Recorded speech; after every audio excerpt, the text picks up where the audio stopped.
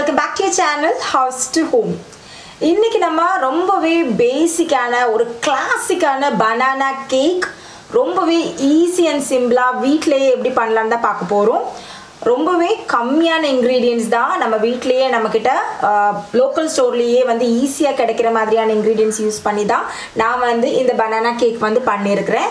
So உங்களுக்கும் இதை ஈஸியாக ட்ரை பண்ண முடியும். ஸோ வாங்க வீடியோக்கு போய் இதை எப்படி பண்ணுறதுன்னு ஸ்டெப் பை ஸ்டெப்பாக பார்த்துடலாம். நம்மளோட பனானா லாஃப் கேக்கு தேவையான எல்லா இன்க்ரீடியன்ஸ் நான் எடுத்து வச்சுட்டேன். ஸோ மெஷர் பண்ணி வச்சுட்டேன்.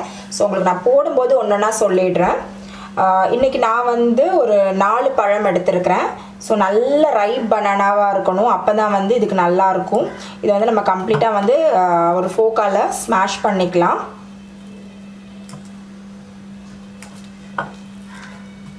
ரொம்ப நைஸாக இருக்கணும் அப்படிலாம் தேவை கிடையாது. கொஞ்சம் அப்படி இப்படி இருந்தாலும் அப்பப்போ கடிக்கிறதுக்கு நல்லாயிருக்கும் ஸோ இது பேசிக்கான பனானா கேக் ஸோ இப்போ பழம் ஃபுல்லாகவே நல்லா ஸ்மாஷ் ஆகிடுச்சு நல்ல பழுத்த பழமாக இருக்கும் நான் முன்னாடியே சொன்ன மாதிரி. இன்னொரு விஷயம் என்ன அப்படின்னு பார்த்தீங்கன்னா நீங்கள் வந்து நான் வந்து இன்றைக்கி நாலு பழம் யூஸ் பண்ணேன். நீங்கள் சைஸை பொறுத்து அது டிபெண்ட் ஆகும். பழுத்ததை பொறுத்தும் டிபெண்ட் ஆகும். ஸ்வீட்னஸை பொறுத்தும்.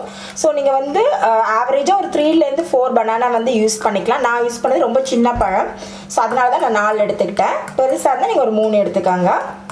ஸோ பழம் வந்து நல்லா ஸ்மாஷ் ஆகிடுச்சு இதோட கால் கப் பட்டர் நான் வந்து ரூம் டெம்பரேச்சரில் இருக்கிற பட்டர் யூஸ் பண்ணுறேன் நீங்கள் மெல்ட் பண்ணியும் யூஸ் பண்ணலாம் பட் சூடாக இருக்கக்கூடாது.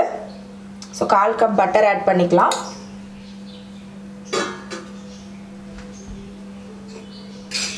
ஸோ இது நல்லா மிக்ஸ் பண்ணி விட்டுடுங்க. மீன்வெல் பார்த்தீங்கன்னா அவனை வந்து நான் ப்ரீ ஹீட் பண்ணிட்டேன்.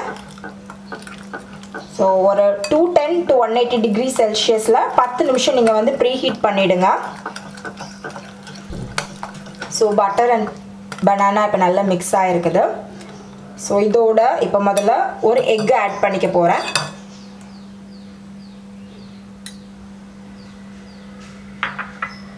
கூடவே வெனிலா எக்ஸ்ட்ராக்ட் ஒரு டீஸ்பூன்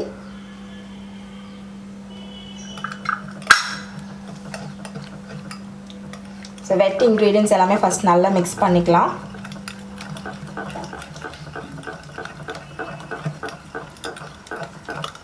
ஸோ நம்மளோட வெட் இன்க்ரீடியன்ஸ் எல்லாமே வந்து இப்போ ரெடி ஆகிடுச்சு ஸோ இதை பேலன்ஸ் பண்ணுறதுக்காக ஒரே ஒரு பிஞ்ச் சால்ட் ஆட் பண்ணுறேன்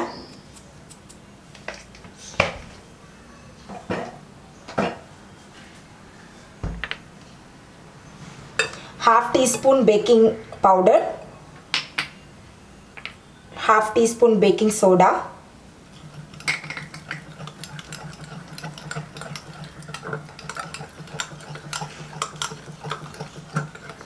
இதில் மிக்ஸ் பண்ணி விட்டுடுங்க.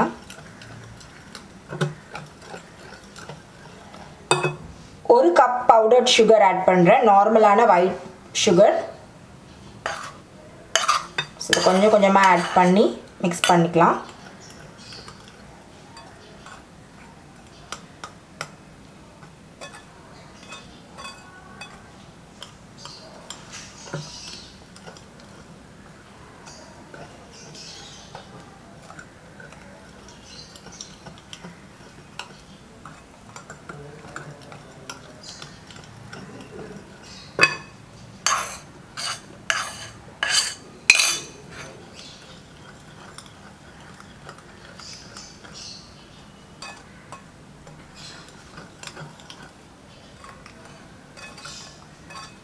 ஸோ நான் யூஸ் பண்ணுறது பவுடர்ட் சுகர் நீங்கள் கிரானுலேட்டட் சுகர் யூஸ் பண்ணிங்கன்னா அதோட மெஷர்மெண்ட் வந்து டிஃபர் ஆகிடும் ஸோ பவுடர்ட் சுகரே யூஸ் பண்ணுங்கள் ஒரு கப் சுகர் வந்து இதோட அளவு தான் பட் நீங்கள் வந்து பழம் நல்ல பழுத்த பழம் நல்ல ஸ்வீட்டான பழம்னா நீங்கள் ஒரு த்ரீ ஃபோர்த் கப் கூட நீங்கள் வந்து யூஸ் பண்ணிக்கலாம்.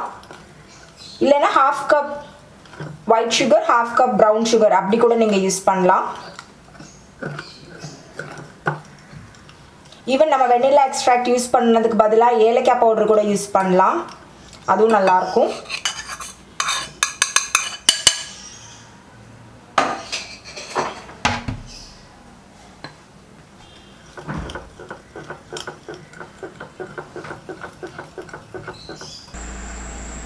ஸோ இதில் இப்போ நம்ம வந்து மாவு எடுத்துக்கலாம்.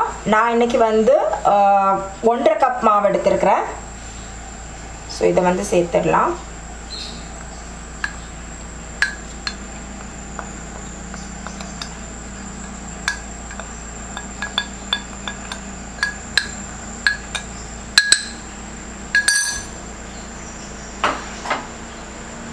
ஸோ ஒன்றரை கப் மாவு சேர்த்ததுக்கு அப்புறமா நல்லா கலந்து விட்டுக்கலாம்.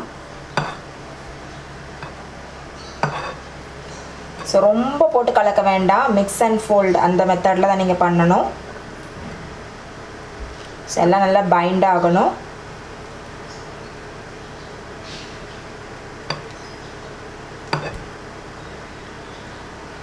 ஸோ ஃபுல்லாக கலரிட்டு உங்கள்கிட்ட காட்டுறேன்.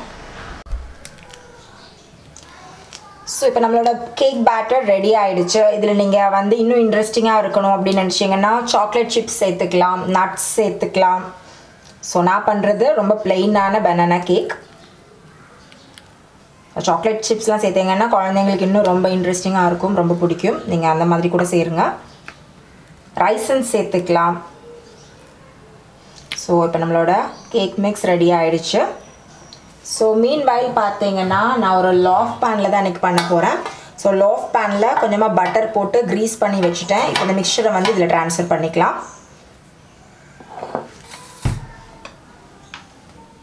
ஸோ ஈவனாக ஸ்ப்ரெட் பண்ணி விடணும். நீங்கள் கேக் டின் எந்த கேக் டின் ஷேப்பில் வேணாலும் யூஸ் பண்ணுங்கள் ரவுண்ட் கேக் டின்னில் கூட பண்ணுங்கள் ஈவன் இதை ஸ்கூப் பண்ணி கப் கேக்காக கூட நீங்கள் பண்ணலாம். அதுவும் நல்லாயிருக்கும்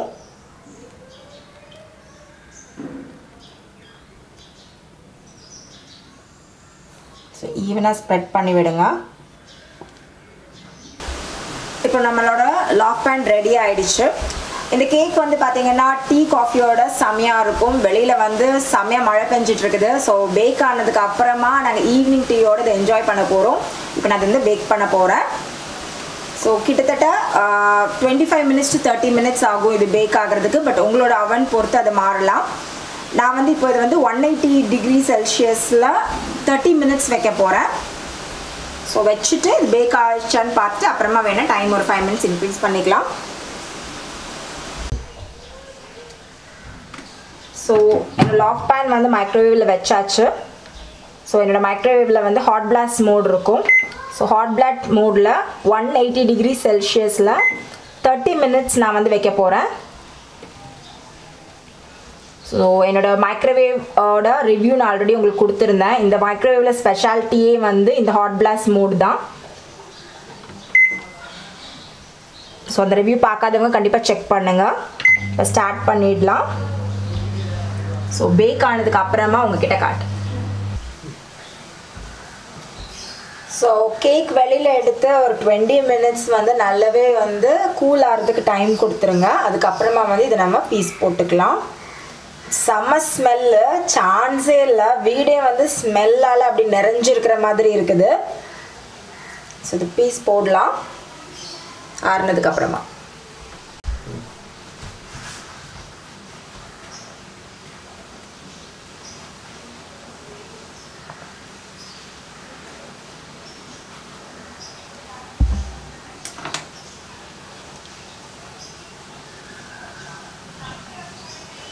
ஸோ பாருங்க நம்ம கேக்கு எவ்வளோ சாஃப்டாக வந்திருக்குன்னு. செம்ம மாய்ஸ்ட்டு ஸ்மெல்லும் சூப்பராக இருக்குது ஸோ கண்டிப்பாக இந்த ரெசிபியாக நீங்களும் ட்ரை பண்ணி பாருங்கள் ட்ரை பண்ணிவிட்டு உங்களோட ரிவ்யூஸ் கமெண்ட்ஸ் எதுவாக இருந்தாலும் என் கூட ஷேர் பண்ண மறந்துடாதீங்க.